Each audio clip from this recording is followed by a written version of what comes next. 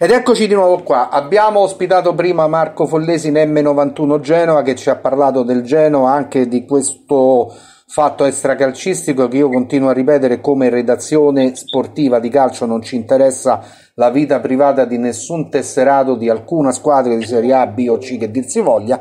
Ritorniamo a parlare di calcio, naturalmente eh, con colui che è l'artefice e il fondatore della rubrica Il punto sulla Roma, ovvero sia Alberto Fiano. Buon pomeriggio Alberto, ben risentito. Caro amico mio, buon pomeriggio a te, è sempre un onore e un piacere partecipare alla tua trasmissione. E mando un saluto a tutti gli interconnessi in ascolto, una... grazie davvero. Oh, era tempo che non ci assentivamo in diretta, il punto c'è sempre stato, tra un po' toccherà quota 400 Alberto. Eh già, ieri sera post Roma-Helsinki eh, la puntata numero 394, chi l'avrebbe mai detto? Eh, difatti, non ce, non ce lo saremmo mai immaginato. Allora, oggi invece parliamo dell'antivigilia, perché ci sarà domenica alle 18 Roma-Atalanta, si giocherà all'Olimpico, ma secondo me eh, quando c'è l'Atalanta o Roma o Bergamo i rischi sono sempre quelli. Parto dagli avversari, allora è un Atalanta che corre di meno, ma ragiona di più.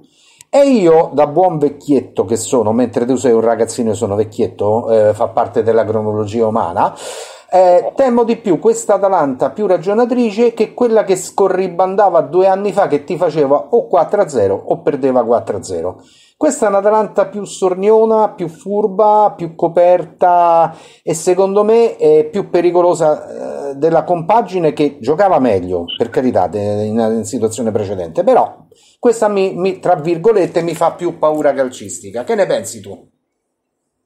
Allora, eh, che ne penso io? Mm, Roma-Atalanta, intanto registriamo l'ennesimo sold out, diamo anche insomma, onore al pubblico della Roma che eh, fa, non fa mancare un grande entusiasmo, una grande passione ai propri beniamini.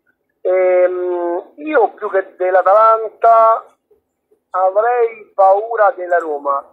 Eh, se vado anche a vedere insomma le probabili formazioni, ok, comunque registro anche delle defezioni importanti in casa bergamasca, tipo ecco, il bomber Zapata colombiano che a me piace tanto, l'ex Roma Zappacosta che però sulla economia di gioco, visto che poi Gasperini usa molto gli esterni laterali, è comunque una defezione importante. Gin City centrale difensivo, quindi eh, sono anche Mure non in perfette condizioni, infatti partirà dalla panchina, quindi eh, sono come dire assenze di rilievo per la compagine bergamasca. La, mh, è vero, ragiona un po' di più, però a mio avviso ha perso appunto quella incisività che eh, aveva in fase offensiva quella, quella, dire, eh, quel ritmo indiavolato, forcennato, che infatti sì. molti ci domandavamo come facesse a tenerlo, poi con dovuto rispetto ovviamente senza voler polemizzare viene fuori il caso Palomino, quindi eh, eh, se l'Atalanta comunque ecco, l'ho visto Gasperini quest'anno l'ha un po' tra virgolette snaturata a quello che per 3-4 anni invece l'ha martellati come critici calcistici. E, ehm, e penso sempre che comunque a me faceva più paura l'Empoli che l'Atalanta, perché l'Empoli, squadra organizzata, si chiudeva bene in difesa, ripartiva in modo micidiale e, e purtroppo così ci ha fatto il momentaneo 1-1 con Bandinelli eh, io penso invece che l'Atalanta sia una squadra che possa essere fatta a misura della Roma. Lo dissi lo scorso anno entrambe, ad entrambe le vigilie delle incontri del Bergamaschi e la Roma ha fatto accolto 6 punti, nonché anche quel, quel di Bergamo addirittura con una larghissima vittoria in trasferta. Quindi mh, io sono fiducioso. L'unica cosa è che l'incognita è che magari la Roma può risentire delle scorie della fatica di coppa, però è anche vero che eh, se fossimo stato, stati in, in, un punto più avanti della stagione poteva essere insomma più pesante quell'impegno di Coppa, però in questo momento della stagione forse aver messo altre a benzina e altro ritmo partita eh, nelle gambe dei giocatori della Roma può essere più favorevole che non proprio per quella, diciamo, quel, quell'aspetto atletico che poi va sempre a incidere sulle partite, specie come quella di domenica a mio avviso. Oh, eh, domenica sarà una partita, adesso al di fuori di chi vincerà o non vincerà, ricca di gol come in altre circostanze Roma-Atalanta, Atalanta-Roma o stavolta sarà molto stringata di gol? Eh, dipende, io penso che comunque eh, questa partita da, almeno dai due gol ci possono essere, eh, dai due ai quattro gol da, come nella somma del risultato finale, dai 2 ai 4 gol ci possono stare. E, ehm, la Roma può far davvero male comunque Atalanta ha degli ha, quei quattro lì davanti, la Roma che con la difesa atalantina può insomma metterli davvero in difficoltà e mi riferisco a Zagnolo che è rientrato in campo devastante ieri veramente nella ripresa un, uh, un, un uragano, uragano, veramente all'Olimpico, anche se il medio non l'aveva detto. e, e, poi ecco Di Bala, Di Bala che ha l'argento lì addosso, un fuori classe di veramente livello assoluto. E Pellegrini che comunque fa sempre la sua parte, anche se viene criticato, e poi Abram, Abram può tornare al gol è un attaccante che eh, va molto sulla profondità, gioca molto bene anche sul fuorigioco, la difesa atalantina spesso applica questa diciamo, trappola per, per, gli attaccanti avversari, ma magari se poi scatti proprio alla, come faceva anche Pippo Inzaghi che era il messo in questo, eh, proprio su quella linea lì che poi tiene in gioco, allora sì che Pippo può far male, quindi eh, dipende tutto da come l'approccio mentale della Roma a questa gara e confido che sia comunque un approccio mentale con tutti i più certo. dovuti giusti criteri del, del, dell'appuntamento che richiede. Eh, ma c'è, c'è, da temere più l'Atalanta o la Roma? Cioè se io dovessi temere una defaglianza, temo più quelle della mia Roma storiche e ataviche o più oh, magari un crollo dell'Atalanta? Io non voglio sembrare fazioso, ma penso che il periodo peggiore la Roma nel suo momento di crisi, di, di mini crisi, che così vogliamo dire, tra Udine e Ludo Gorez, l'abbia già passato. Due vittorie raccolte con l'Empoli e con l'Helsinki che erano fondamentali, quindi eh, la, ha doppiato Caporna, per dirla in termini navali, no? perché Caporna è sempre un po' visto uno sparuacchio per i navigatori, la Roma l'ha doppiato, la nave non si è affondata, adesso ecco, ha rispiegato le vele e sta riprendendo la giusta rotta. E quindi ehm, anche con qualche numero minaccioso all'orizzonte, eh, alias Atalanta, ma ormai comunque me, a mio avviso la nave dell'ammiraglio Murigno eh, è di nuovo ben rotta su, sui mari e naviga verso i i luoghi dove deve navigare ed arrivare in porto. Gasperini con uh, questo mix tra moderno e antico, uh, dove potrà portare questa Atalanta? Mi spiego meglio perché qualcuno mi ha detto perché antico? Perché la marcatura ad uomo che usa, che utilizza Gasperini viene dall'antico calcio. Quindi l'antico calcio non è tutto da gettare al cestino dei rifiuti, perché a me risulta che l'Atalanta con la marcatura uomo ha chiuso tante falle che con la marcatura zona escono come luce al sole. Sì, ma infatti io poi sai, sono anch'io allenatore di calcio giovanile, sai che ho vinto anche un campionato allievi provinciali, quindi eh, io non mi sono mai irrigidito su una regola fissa in base anche agli avversari, ma in base anche ai momenti della partita e ai momenti che attraversa la squadra eh, si può, come dire, ehm, per fare una battuta, dargli di tacco e dargli di punta, un po' come la sono assunta. Quindi ci sono dei momenti che la partita può richiedere una marcatura zona, altra uomo. Comunque non è da denigrare una marcatura uomo, soprattutto sui calci piazzati, eh, oppure in momenti dove ehm, tu sai che puoi creare problemi eh, andando ad asfissiare quelle, quegli elementi della squadra avversaria eh, con marcature anche a raddoppio di marcatura così che da eh, limitare i flussi di gioco dell'avversario, eh, io, io, lo faccio, cioè,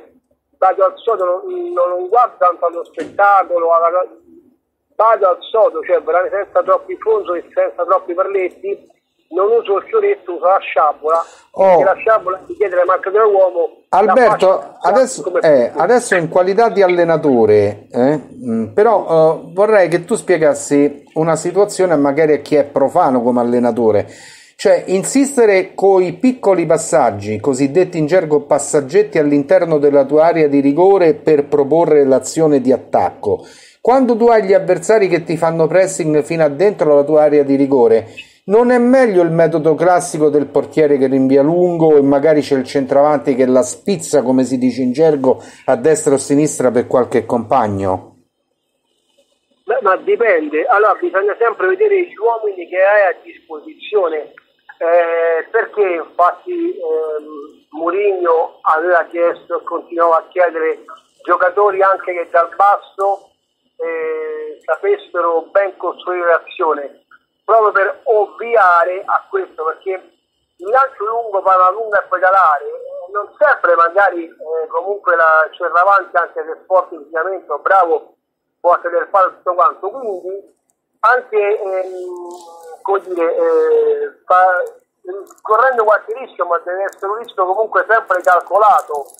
Eh, proprio per fare, come dire, eh, manovrare la palla sulla sua tre quarti di campo, sulla sua metà campo, serve appunto per stanare gli avversari e poi comunque colpire con ripartenze fulmini. La 90 ha questa caratteristica, scusa, caratteristica che comunque poi ti viene apprezzato che la Roma deve essere abile a far girare palla velocemente anche con dei cambi di gioco o con dei prestiti molto rapidi palla a terra, andando soprattutto sulle corsie esterne in verticale così da, ehm, da far sì che la davanti sopra con uomini ripeto Di Bala, Zagnolo, Abram, lo stesso che a me Sergio comunque piace molto piace come esterno di, di, di fascia sì, sì, sì, concordo. Così, e allora lì le, puoi veramente portare poi minacce serie eh, alla porta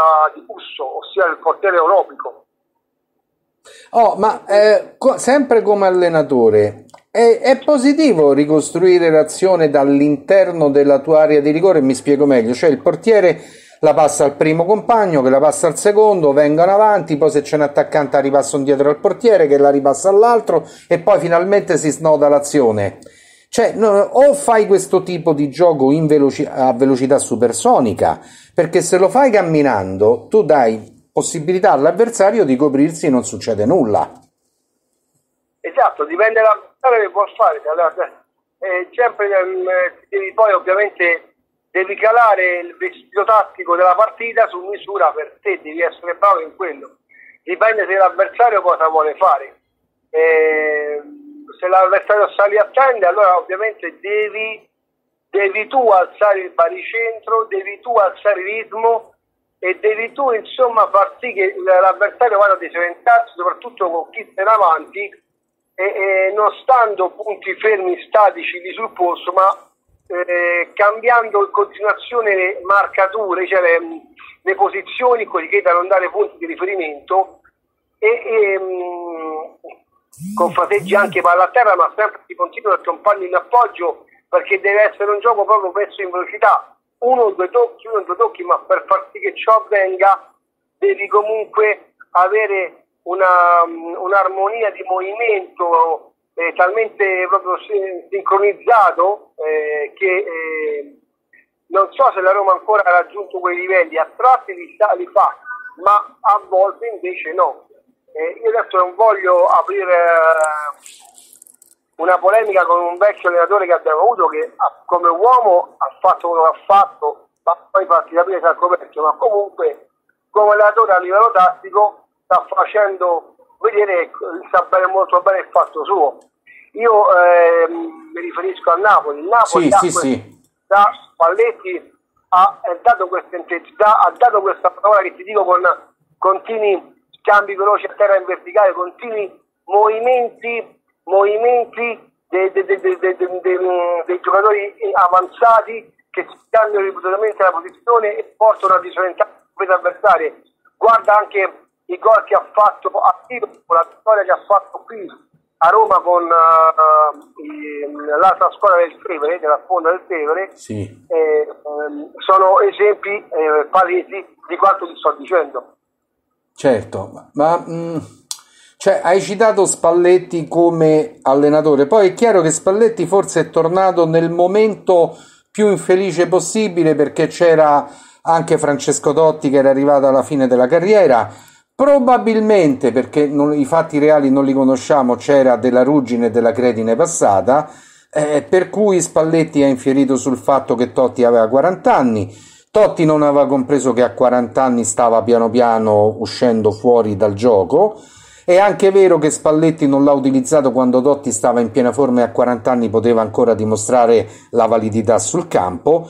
Insomma, lì sbagliò la società perché eh, se eh, era tornato Spalletti forse l'altro doveva uscire o se rimaneva Francesco Dotti Spalletti non sarebbe dovuto tornare. Però ormai con i se e con i ma non si fa più nulla, no? Per me la versione più, più diciamo, credibile è che Spalletti comunque al secondo anno sia suo corrispondente all'ultimo di Totti aveva avuto input da diciamo dalla stanza dei bottoni che eh, doveva fare in modo che si e Totti insomma andasse a sì anche perché poi nelle segrete stanze a febbraio a fine febbraio Spalletti aveva annunciato alla società che non avrebbe rinnovato quindi tu ti potevi tenere Francesco Totti per un altro anno e non fargli fare eh, la forzata volontà di addio dal, dal, terreno di gioco perché poi fosse stato un altro se ne sarebbe andato a giocare in Canada insomma eh, parliamoci chiaro esatto Esatto, in America o a Dubai dove ti ricoprono di dollari, di milioni di euro. E... Però ormai quella, quella è storia che negli almanacchi.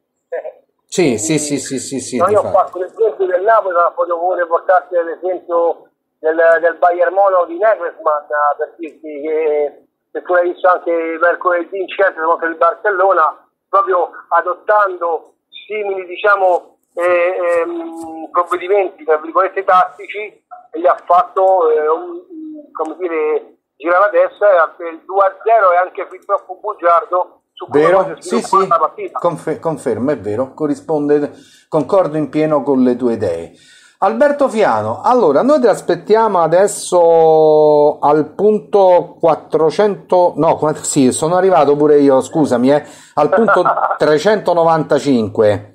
Tu calcola che siamo in onda dalle 13.40 wow, e, e, questa volta, è, oltre a questa alla Roma, c'è stato il momento dell'attualità con la protezione civile perché quello che è successo nelle Marche è a dir poco disastroso. Noi veramente un messaggio e una preghiera di solidarietà, solidarietà e cordoglio a tutta la popolazione delle Marche. Poi posti bellissimi dove stanno anche sono stato con mia moglie in estate, quindi sì, sì. veramente il nostro più grande in bocca al lupo. E, e abbiamo convogliato poi le trasmissioni sul fatto dei soccorsi che secondo noi, mostro un modesto avviso, sono state ben organizzate e ben orchestrate. Poi ci sono stati degli interventi, la colpa è di quello, una tragedia che si sarebbe potuto evitare. Io dico che questo lo vediamo in seconda battuta. La speranza, non la certezza, è che alla fine, se veramente eh, eh, sarebbe potuta essere evitata questa tragedia, le responsabilità non ricadano sul cielo e sulla terra e nessuno degli esseri umani paga le conseguenze o le responsabilità presunte. Eh. Questo purtroppo siamo in Italia, però oh, quello che abbiamo visto da stanotte poi soprattutto è qualcosa di spaventoso perché lì ti puoi chiamare come ti chiami, se quella valanga d'acqua ti prende eh, ti risucchia e ti saluto. Finisce il viaggio terreno praticamente. E adesso stiamo attendendo notizie sugli ultimi due dispersi che sono, sembrerebbero essere due ragazzi di 14 anni che non si trovano. E speriamo che, po- speriamo che alla fine si possano trovare incolumi o parzialmente feriti, insomma vivi. E non si sa bene ancora quante persone siano sotto potrebbero essere, anzi usiamo il condizionale sotto il mare di fango e di detriti, speriamo che non ci sia più nessuno. Comunque i morti accertati potrebbero, oh, mi dicono, salire a 9, eh, che non va assolutamente bene, soprattutto se la tragedia eh, poteva essere evitata. Però aspettiamo esatto. i prossimi giorni, siamo vicini anche ai parenti delle vittime perché non si può morire così e, e soprattutto... Sì, bravo, e soprattutto che visto che il clima è cambiato, no? chi sia il politico sia, mestierante di politica, chi, chiunque sia, no? Ma se ci sono dei fondi da destinare contro le calamità naturali, siano utilizzati per quel fine là, per quello scopo là. E soprattutto che tutti i partiti, dico tutti, eh, quindi nessuno escluso, quando ci sono situazioni di questo genere si devono unire tutti non puoi fare il bello il cattivo, è colpa tua, no è colpa tua, tu hai difeso quello, tu hai difeso quell'altro. È un costume italiano oh, bruttissimo che si dovrebbe evitare nei momenti di emergenza no, e necessità. È ancora medioevo, ancora la lotta tra i feudi e purtroppo come ti ho detto sono cose giustissime che dovrebbe essere la normalità ma eh, il dovuto rispetto e con tanto rammarico nel cuore, sì. in Italia eh, purtroppo ora, eh, se non è, diciamo, la pensiamo quasi l'utopia in tal senso ancora e quindi eh, questo è una cosa veramente che, che amareggia e che fa male. Insomma. Sì, e poi sul rovescio della moneta abbiamo ancora situazioni ad Amatrice e in Abruzzo che ci sarebbero, eh, mi dicono di usare il condizionale, lo uso per carità, il direttore si raccomanda. Eh, del, della gente che vive ancora nei containers, ma i terremoti di Amatrice e dell'Abruzzo sono anni che sono passati, eh, fino a prova del contrario. Eh, mi ricordo ad Amatrice mi ricordo sei anni sei anni. Sì, sì, sì. Roberto, io mi ricordo che nel 2013, se la memoria non mi inganna, sì. o 2015, insomma, un anno o due anni prima della catastrofe di Amatrice, appunto, di cui stiamo parlando, in Giappone, in Giappone eh, a circa 300 km da Tokyo, una, una cittadina de, di circa 400-500 mila abitanti fu quasi rasa al suolo da un evento sismico veramente di assoluta potenza e forza. Ecco. In un anno, in un anno la, la, la, la nazione del Giappone ha non solo ha ricostruito questa città, ma l'ha resa ancora più bella, più funzionale, più eh, dire, mh, preparata ad eventuali altri eh, eh, fenomeni sismici per far fronte al meglio e per far, far sì che ciò che era accaduto non si ripetesse più. Esattamente in 13 mesi, un anno, 13 mesi. Un e adesso ancora resa migliori per dirti, no? in Giappone. Quindi eh, volere sempre potere. E il pesce purtroppo in ogni contesto di vita, ma non solo politico, in ogni contesto di vita, puzza sempre dalla testa. Vero. E questo è, c'è poco da fare. Purtroppo è così. Allora, Alberto, grazie di essere intervenuto. Abbiamo avuto anche un angolo di attualità che non guasta mai. No, e praticamente, no. Allora, dopo Roma-Atalanta aspettiamo il punto 395 e poi la prossima settimana, se tu sarai disponibile con i tuoi impegni professionali, non parleremo di calcio ma di attualità in quanto è l'antivigilia delle elezioni politiche che ci saranno il 25 settembre. Eh, mando, se sono disponibile ti mando un messaggio Roberto. Come, come hai fa- ecco, come hai fatto oggi, né più né meno.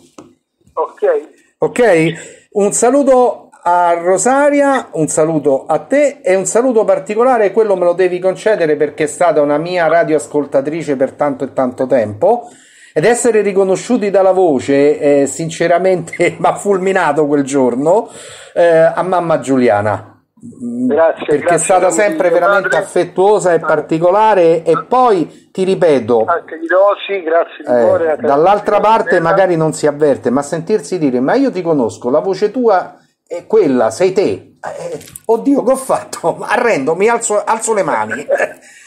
fa, piace, fa, piacere radiofonicamente, te- televisivamente no perché la gente ti vede, ma radiofonicamente essere riconosciuti dal timbro vocale non è da tutti i giorni, insomma. Eh no, eh no, anche perché comunque è un complimento che io eh, il tuo timbro di voce è confondibile e sempre bello. Ecco, ci proviamo dopo 240 anni, la voce è rimasta integra, ringraziando il cielo, non si è rovinata. Eh, un grande abbraccio Alberto Fiano, ci risentiamo prossimamente, buon fine Grazie, settimana. Alberto. A te e famiglia un carissimo saluto, un grande saluto anche agli interconnessi in ascolto al tuo staff radiofonico. Ovviamente chiudiamo come chiude il punto sulla Roma, ritornando alle sfere calcistiche. Dai Roma dai. Dai Roma dai. E io ringrazio i 163, le 163 persone che ci hanno ascoltato in diretta. Ne abbiamo avuto Grazie. una da Moncalieri, provincia di Torino, se non vado errato. Ah, Un'altra Wow. da San Pierniceto che è in provincia di Messina. Vediamo un po' nel grafico. Roma, vabbè, è chi- chiaramente è normale questo. Abbiamo avuto anche eh, a Piombino, che è provincia di Livorno. Queste sono, esatto, sono le tre extra time che abbiamo avuto oltre la città di Roma e noi di questo siamo contenti perché vuol dire che ci ascoltano anche da altre parti. È giusto che sia così. Il web non ha confini. Ciao Alberto, grazie e buona serata. A te, ciao Roberto, grazie tante. Ciao. Ciao, ciao, ciao, grazie.